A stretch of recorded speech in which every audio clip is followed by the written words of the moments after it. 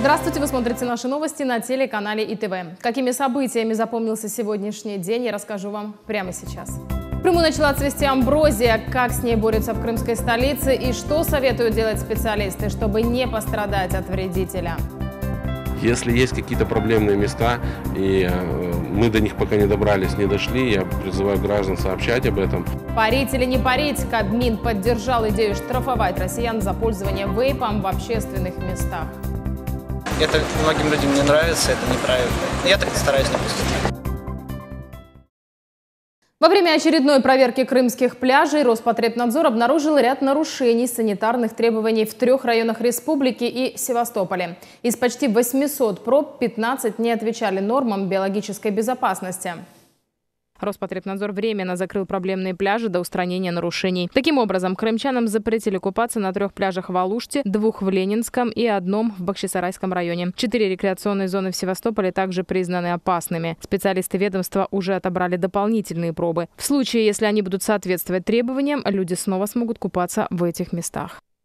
Высокий сезон. В Крыму начала цвести амброзия. В Симферополе уже активно идет борьба с растением, которое вызывает аллергию. Его скашивают, а то место, где оно росло, опрыскивают специальным веществом. Что рекомендуют специалисты людям-аллергикам и как проходит процесс борьбы с амброзией? Подробности в нашем следующем сюжете.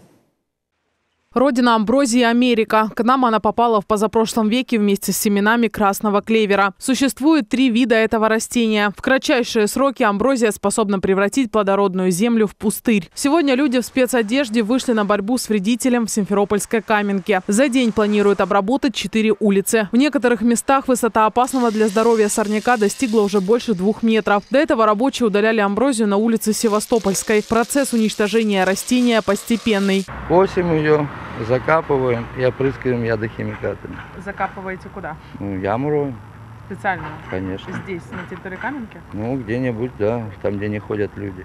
В администрации города составлен список участков, которые обрабатываются ежегодно. Власти Симферополя отмечают, что чаще всего амброзия встречается в районе улицы Ковыльная, на Грессе и вдоль проезжей части. Если есть какие-то проблемные места, и э, мы до них пока не добрались, не дошли, я призываю граждан сообщать об этом в Куда? администрацию города Симферополя, э, департамент городского хозяйства, письменное заявление, э, и на основании этого заявления мы будем давать поручения, изменять график покоса предприятия, чтобы граждане не испытывали дискомфорта от этого э, ну, последнее время преследующего нас растения. Амброзия является очень сильным сорняком-аллергеном. У людей, склонных к аллергии на растения, как правило, слезятся и краснеют глаза, появляется кашель и насморк. Аллергию вызывает не само растение, а его пыльца, которая способна разноситься на несколько километров. Специалисты рекомендуют жителям Крыма избавляться от амброзии с корнем, а тем, кто страдает аллергией, обратиться к врачу. обратиться к врачам-специалистам для того, чтобы обследоваться и, возможно, провести иммуноспецифическую терапию. Ну, то есть это обычно вырабатывается специфический иммунитет, то есть берутся пробы, а потом антиген вводится дробными дозами и вырабатывается иммунитет вот к этому явлению амброзии. Работы по уборке сорняка будут проводиться до октября, до окончания цветения амброзии. Мария Мосур, Артур Добряков, служба новостей и ТВ. В Симферопольском пруду под названием Нижний вблизи радиорынка утонул 30-летний мужчина. Трагедия произошла во вторник ближе к вечеру. На пульт крымских спасателей поступил звонок в 19.20. Очевидцы сообщили, что молодой человек, якобы находившийся в нетрезвом состоянии, нуждается в помощи. Он вошел в воду и самостоятельно выбраться на сушу не мог. По экстренному вызову сотрудники Крымспаса, МЧС, скорой медицинской помощи и МВД прибыли на место происшествия. К сожалению, мужчину спасти не удалось. Медики констатировали смерть. Причина гибели устанавливается. В России могут запретить парить вейпы и курить электронные сигареты в общественных местах. Кабмин поддержал идею приравнять эти устройства к обычным табачным изделиям. В случае, если ограничение вступит в силу, любителям пользоваться заменителем сигарет придется заплатить штраф, если желание затянуться застанет врасплох прямо на улице. Сумма варьируется в зависимости от конкретного места. Самое высокое – за парение на детских площадках. Как всегда, у инициативы появились свои поклонники и оппоненты. Кто прав, выясняли наши журналисты. Появились в начале 2000-х, пришли в Россию пять лет назад и заполонили улицы, укутав их клубами дыма. Но ценители вейпинга поправят. Пара. Вейп или электронная сигарета – быстрый способ отказаться от обычной табачной. Купить можно в интернете, выбор широк, а цена вполне доступная. Самая дешевая – от 200 рублей. Есть наборы для эстетов, тут суммы значительно выше. Но более простой путь – без длительного ожидания посылки. Табачная лавка или вейп-бар. Сейчас даже днем тут зачастую аншлаги. Причем пользуются опциями прогресса представители любых возрастных категорий. Очень по-разному. Все, кто хотят бросить курить, от молодых люди. То есть нет особой разницы, это молодые или взрослые люди. Просто взрослые люди более часто выбирают как раз таки сигаретную затяжку. Молодые люди чаще выбирают коленную затяжку, где больше вкуса и больше пара. Впрочем, ударить по продажам может грядущий запрет вейпинга в общественных местах. Инициативу приравнять вейп к табаку поддержал Кабмин. Решил пустить пар на остановке транспорта, оплати от полутысячи до полутора тысяч рублей. Постоянный клиент магазина Владимир, курильщик табака с десятилетним стажем, бросил пагубную привычку лишь благодаря заменителю сигареты. Теперь намерен отстаивать права единомышленников. Ну, я с этим не согласен. Я сигареты понимаю, они, во-первых, воняют, портят воздух, а во-вторых, они вредны для окружающих, но вейпы к этому не причисляются. А вот Василий, избавившийся от дурного запаха, привычки и стресса, благодаря электронике даже согласен с решением запретить вейп там, где это может кому-то мешать. Есть такие нормы, то, что нельзя курить там при детях, нельзя курить э, в, ну, не знаю, на остановке в общественном месте, прямо при всех, там, не говоря уже про самолеты, автобусы. Естественно, это многим людям не, это многим людям не нравится, это неправильно. Я так стараюсь не поступать. Детская площадка. Курение тут карается самым значительным штрафом – 3000 рублей. И речь идет не о вреде здоровью окружающих. Для детей лицезреть пускание пара – негативный пример. Родители однозначно против дурного соседства, вейперов и своих чат. Ну, лучше не надо, потому что дети смотрят, э, они же не понимают, электронная это сигарета или нет, и как бы, ну, желательно, чтобы этого не было. Главный вопрос, адресуемый курильщику вейпа, а так ли безвреден, остается открытым. Пока в силу молодости нового увлечения россиян не проводились длительные исследования состояния здоровья потребителей. Вейп заправляется добавками, состоящими из глицерина и пропиленгликоля. При желании можно добавить и никотин. Вывод прост. Пользуясь прибором, можно как минимум получить аллергию. А пусть там меньше концентрация никотина, а, но все мы знаем, что и в табачном дыме никотин э, не основной опасный э, фактор, что там содержится в табачном дыме э, более 500 различных веществ. Ну и, в общем, токсические вещества выделяются и при испарении жидкостей вейпов. Неопределенной позиции в вопросе вреда вейпа в сравнении с сигаретами придерживаются и ВОЗ, на которую ссылаются в Минздраве России. К тому же, вводя запрет, в Кабмине руководствуются не только стремлением сохранить здоровье, но и учитывают этические нормы, как в ситуации с дресс-кодом для туристов. В США уже опередили россиян в нежелании пускать пар. В Сан-Франциско в прошлом месяце ввели полный запрет на курение электронных сигарет. Поставить точку в вечном споре вейпофилов и вейпофобов сейчас сложно, а пока первое продолжают сами устанавливать границы дозволенного, а вторые делать им замечания в местах массового скопления людей. Как бы там ни было, существует масса других общедоступных способов побороть стресс, если таковой имеется, при этом не рискуя вызвать недовольных взглядов окружающих. Руководствуясь таким методом, вы точно не влетите в копеечку, а пользу от потребления никто не оспорит. Тарас Березицкий, Евгений Стариков, Александр Рыбин, Артур Добряков. Служба новостей ИТВ. В Симферополе постепенно налаживается система общественного транспорта. Уже со следующей недели жители столичного микрорайона Петровская Балка снова смогут добираться в центр на привычных маршрутках номер 4. Причем в современных комфортабельных автобусах. Решить вопрос удалось после встречи с начальником Симферопольского управления транспорта. Мы переходим ко второй части выпуска, и вот о чем пойдет речь далее. Божественные литургии в храмах, крестный ход с мощами святого равноапостольного князя Владимира проведут в Крыму и Севастополе. 28 июля полуостров отметит День крещения Руси. Наша задача сейчас э, показать, что это не просто праздник, это часть нашей жизни. Крымский филиал Краснодарского университета МВД России выпустил первых в истории российского Крыма офицеров полиции. Как прошла торжественная церемония? Пять лет показали, что филиал пользуется авторитетом, филиал значим в Крыму. Решение принято. Совет Федерации одобрил закон, ужесточающий наказания для водителей, не пропустивших скорую помощь и другие экстренные службы с включенными сиренами и мигалками.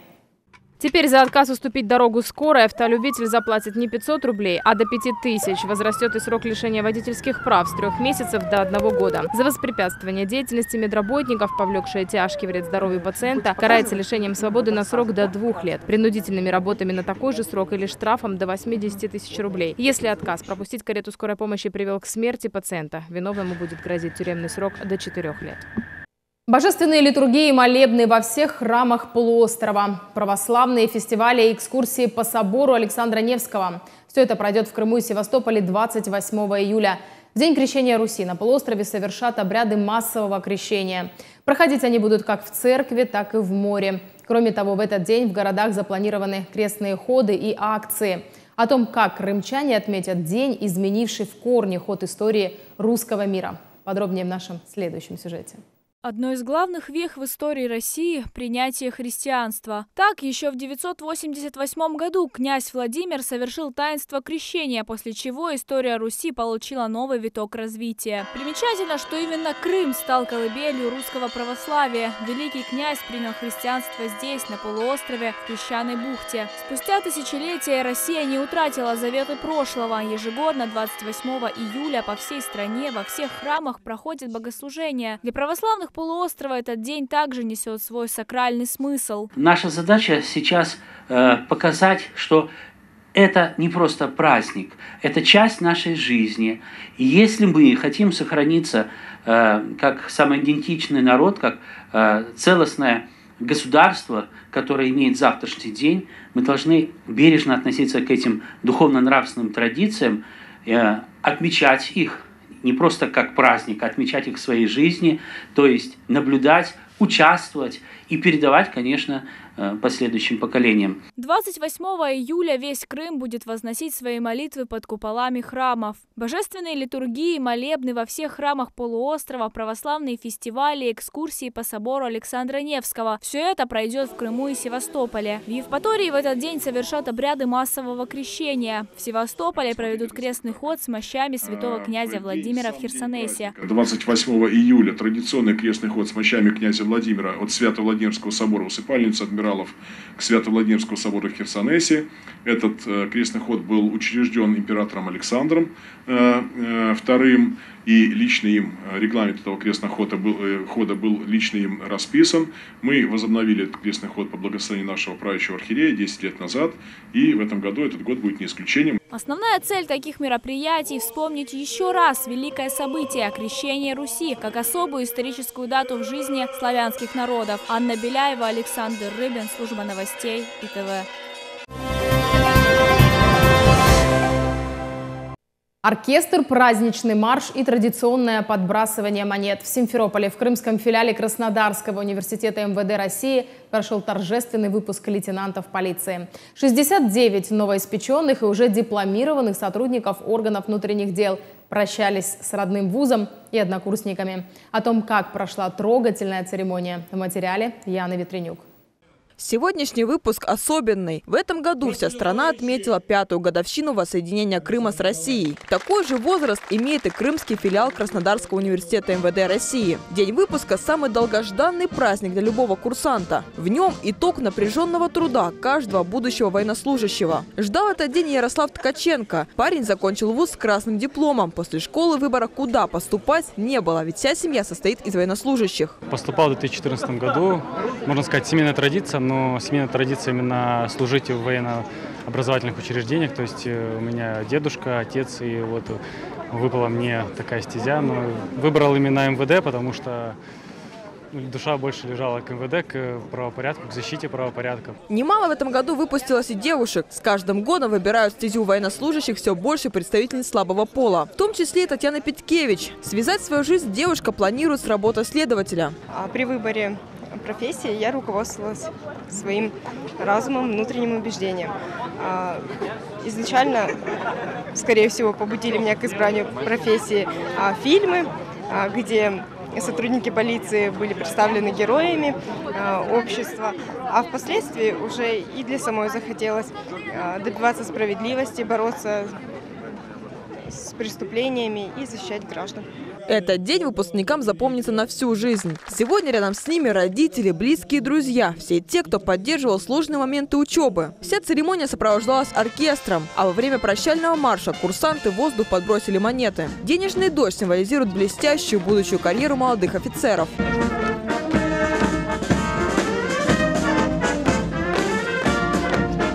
Одна из главных и, пожалуй, самых трогательных традиций, существующих в военных вузах – это в последний раз отдать дань уважения знамени университета и попрощаться с главным символом учебного заведения. По команде весь строй опускается на правое колено и замирает на минуту, тем самым отдавая не только честь знамени своего училища, но и дань памяти всем, кто отдал своей жизни защите Родины.